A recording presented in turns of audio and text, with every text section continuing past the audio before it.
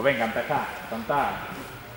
Eh, buenos días chicos, bienvenidos todos. Como ya sabéis, somos Isidro, Pablo y Adrián y os vamos a presentar nuestro primer juego motor.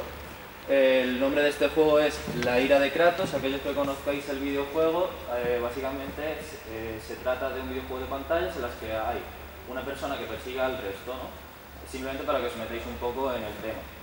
La división que vamos a hacer de este juego va a ser, para que lo tengáis ya en cuenta y tardemos menos tiempo, en este lado de la pista o en esta mitad del campo, tréboles y picas, y en aquella mitad del campo, corazones y diamantes, ¿vale? Eh, una cosa que tenéis que tener en cuenta para toda, a lo largo de todo el juego es que se divide en cuatro pantallas y en cada pantalla vamos a ir cambiando un poco las dinámicas y estas dinámicas lo van a explicar mis compañeros. Pero lo que tenéis que tener siempre claro es que únicamente os podéis mover por las diferentes líneas que tiene el campo. Es decir, por esta misma línea negra yo podría desplazarme, pero en el espacio que hay entre las líneas no, como funcionaba el Pac-Man al que todos habéis jugado, ¿vale? Y que... ¿Qué nombre deberíais de ponerlo? Come Coco, la ira de Kratos. Ah, que hay que hacerle referencia en el propio título. Eh, o ponerle come cocos, porque es que en realidad, aunque vayáis como con la ira de Kratos, ¿cómo lo van a entender los, los jugadores? ¿Cómo lo van a entenderlo para jugar aquí más fácil? ¿Con ira de Kratos o con come cocos? Pero es que eso ya está inventado. Ya, pues entonces... Bueno, lo ponemos el ¿Entendéis lo que os digo? No, no, si no sé que está inventado, por eso como está inventado, vosotros estáis haciendo modificaciones sobre eso. ¿Entendéis lo que digo? Dale. Al final lo que van a tratar todas las pantallas es un juego de persecución y de huida. Lo único que vamos a modificar es el tipo de desplazamiento, los objetos que vamos a utilizar y algunas de las mecánicas. Al final de cada pantalla habrá un sistema de puntuación que os explicaré cuando ya terminado mis compañeros y al final de todo el juego daremos una serie de premios. Luego lo explico. Vale, yo voy a explicar la primera y segunda pantalla y mi compañera la tercera y la cuarta, ¿vale? Eh, yo voy a colocar en esta mitad campo y, Pablo en la otra. Y bueno, en la primera pantalla, eh, los dos que pillan, que son los dos que representan a eh, van a llevar un balón, ¿vale? También se van a enfrentar por las líneas, solo podéis enfrentar por y los demás no llevan nada y para, para pillar lo que tiene que hacer es lanzar el balón. Y si le da a alguien, pues lo pilla y si coge el balón, pues no, o sea, se salva esa persona. Eh, y en la segunda pantalla, lo que vamos a hacer entre cada pantalla, ¿vale? Nos vamos a ir al círculo, que es donde están los materiales, y vamos a ir recordándolo por si alguno se va a olvidar. Eh, cogéis cada uno un balón de voleibol, y, ¿vale? Y tenéis que ir botando también por las líneas, pero eh, los que pillan no tienen balón, y bueno, intentarán quitarlo.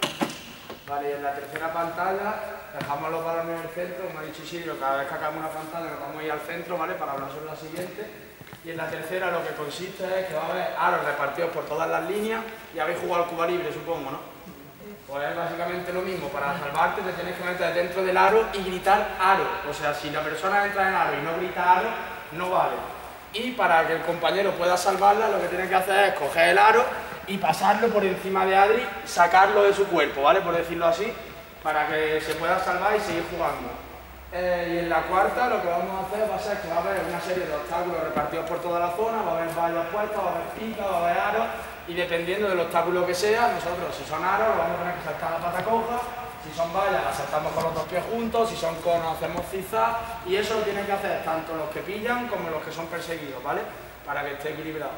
Y ya está. El sistema de puntuación que vamos a seguir es pues, un ganador por cada pantalla. El ganador lo sabréis cuando haya finalizado todo el juego.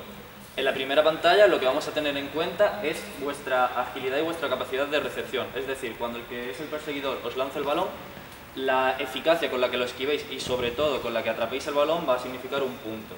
En la segunda pantalla vamos a ver vuestra capacidad de bote y de esquive con el balón, es decir, por cada más tiempo que pase sin que os hayan robado el balón, iréis sumando puntuaciones.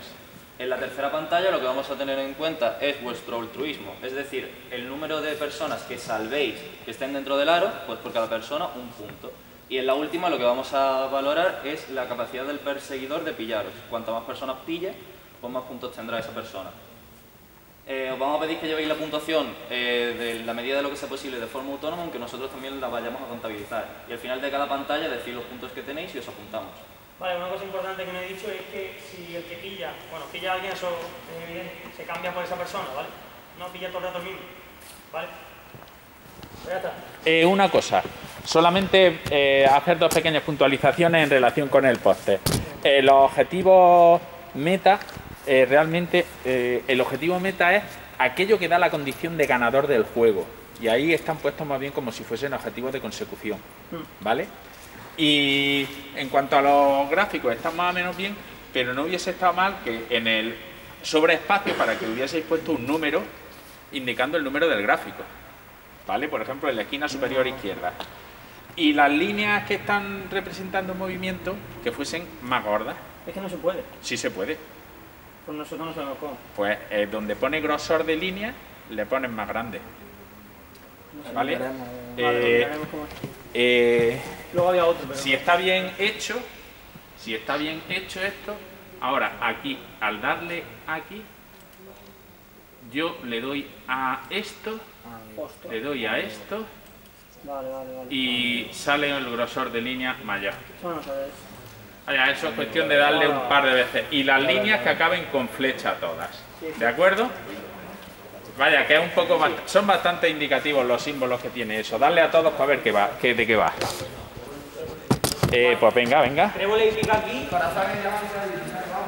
Eh, Andrés, bueno, no sé si Dime, teníamos sí. otro postre. Ah, pues el otro es que.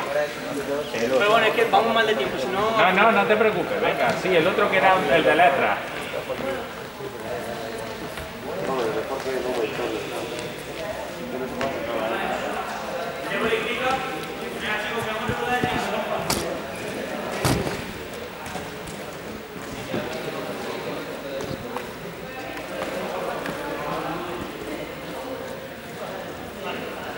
A un voluntario.